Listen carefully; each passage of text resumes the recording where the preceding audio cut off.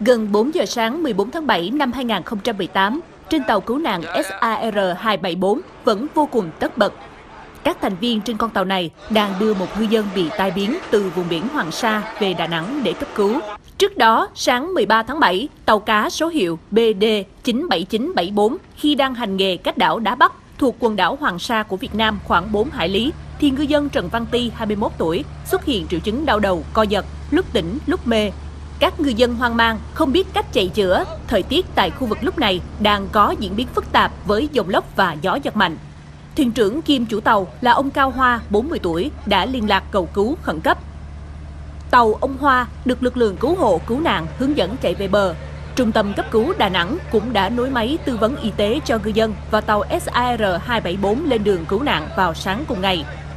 Vượt gần 200 hải lý trong thời tiết phức tạp, tàu cứu nạn tiếp cận tàu cá BD 97974 vào tối 13 tháng 7 năm 2018, cấp cứu ngư dân Trần Văn Ti trong tình trạng nguy kịch, hôn mê sâu.